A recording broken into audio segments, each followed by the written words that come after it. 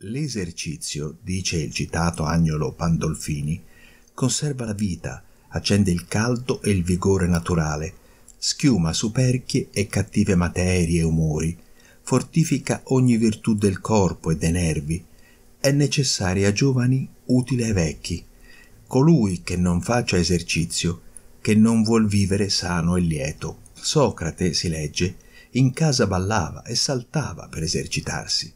La vita modesta, riposata e lieta fu sempre ottima medicina alla sanità. La temperanza e l'esercizio del corpo sono dunque i due perni su cui la salute si aggira. Ma avvertite che quando eccede, cangiata in vizio alla virtù, si vede, imperocché, le perdite continue dell'organismo hanno bisogno di riparazione. Dalla pletora per troppo nutrimento, guardatevi dal cadere nell'eccesso opposto di una scarsa e insufficiente alimentazione per non lasciarvi indebolire. Durante l'adolescenza, ossia nel crescere, l'uomo ha bisogno di molto nutrimento. Per l'adulto e specialmente per il vecchio, la moderazione nel cibo è indispensabile virtù per prolungare la vita.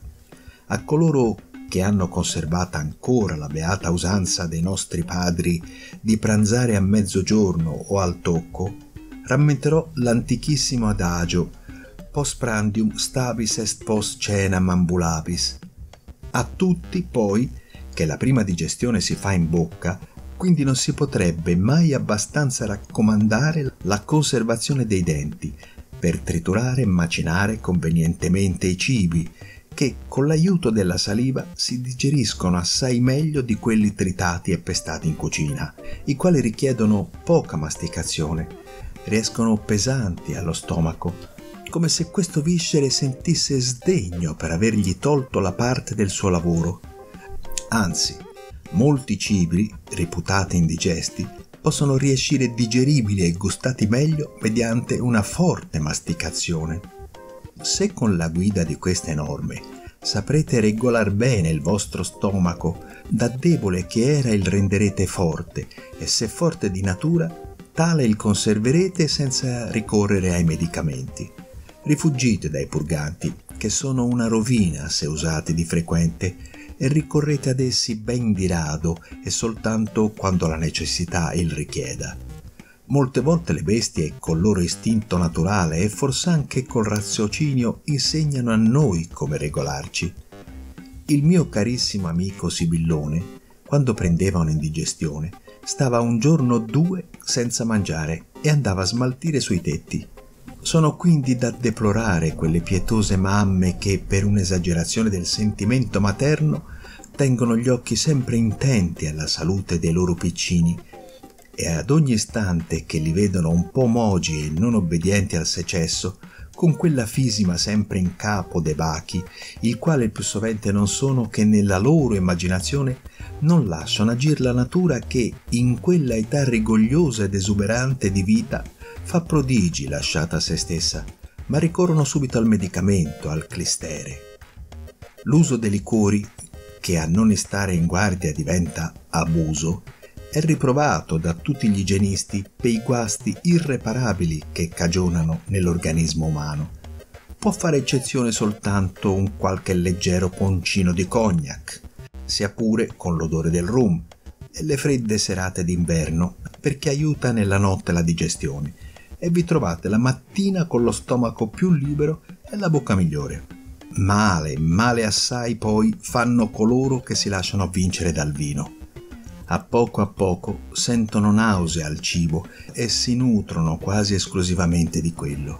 Indi si degradano agli occhi del mondo, diventano ridicoli, pericolosi e bestiali.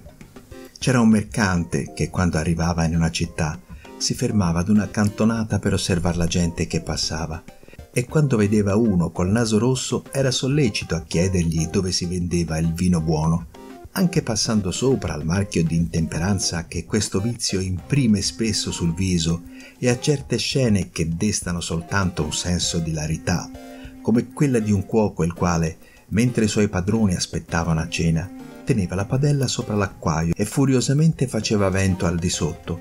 È certo che quando vedete questi beoni, che con gli occhi imbambolati, mal pronunciando l'R, dicono e fanno sciocchezze spesso compromettenti, vi sentite serrare il cuore, nel timore che non si passi alle risse, e dalle risse al coltello, come avviene sovente. Persistendo ancora in questo vizio brutale, che si fa sempre più imperioso, si diventa ubriaconi incorreggibili, i quali tutti finiscono miseramente. Neppure sono da lodarsi coloro che cercano di procrastinare l'appetito con gli eccitanti, impero che se avvezzate il ventricolo ad aver bisogno di agenti esterni per aiutarlo a digerire, finirete per isnervare la sua vitalità e l'elaborazione dei succhi gastrici diverrà difettosa.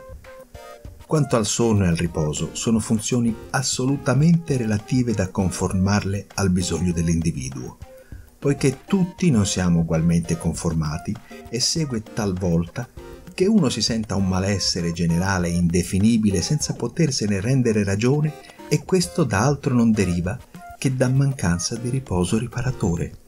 Chiudo la serie di questi precetti gettati giù così alla buona e senza pretese, coi seguenti due proverbi tolti dalla letteratura straniera, non senza augurare al lettore felicità e lunga vita. Proverbio inglese Early to bed and early to rise makes a man healthy, wealthy and wise. Coricarsi presto ed alzarsi presto fanno l'uomo sano, ricco e saggio. Proverbio francese Se lever assis, déjeuner à dix. Dîner assis, se coucher à dix. Fait vivre l'homme dix fois dix.